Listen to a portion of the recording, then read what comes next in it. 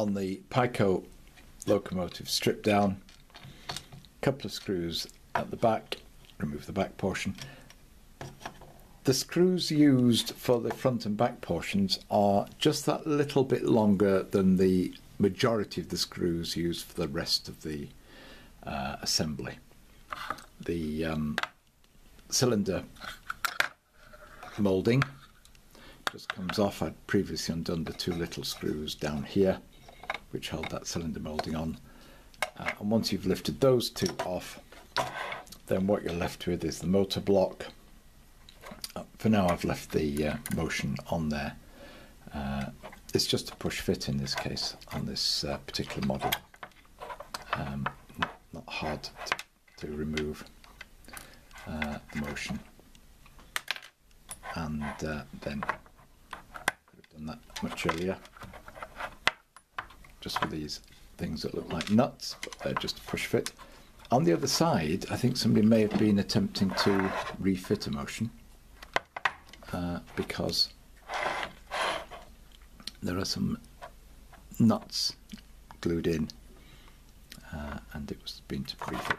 As soon as you got the motion off, that allows you to detect any attachment to a motor and if we take the the same screws that held the front and back on also hold the top of the motor casing on. And if we look inside there you find a nice substantial motor uh, brass worm pinion uh, driving the front and rear axles. So the middle axle is the one that's not geared onto it. The front and rear ones are geared on. Uh, but I note something there. I'm able to turn them.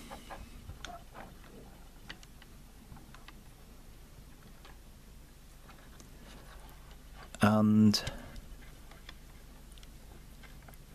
I can turn it. Is, does that mean that the removing of the top, the removing of the top casing, yes, had freed off all tension that was clamping the motor things together. Once you have the top casing screwed on, it holds everything nicely in place.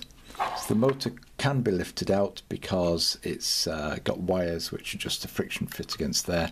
So it's easy to just lift the motor out if you did want to do it. There is plenty of grease in here. And you can also see the pickups from the axles, from the front and rear axles as well. I don't know if the center axle has pickups on it at all. I suspect from the freedom with which I'm able to move it that it doesn't have any pickups. So you just have it from those uh, front and rear there. I guess if you wanted to at this stage, you could consider whether you wanted to add larger wheels and rebuild your motor block with uh, a larger wheel set as an 040 or a 060. Uh, you couldn't make it much larger with the space in between the axles. Uh, but there we have it then. The uh, I can take that off there as well. The motor block of a Piko locomotive and a quick look inside so you can see how the thing is driven and uh, that's the core of what we're using to build up to make our other locomotive, whatever that might be.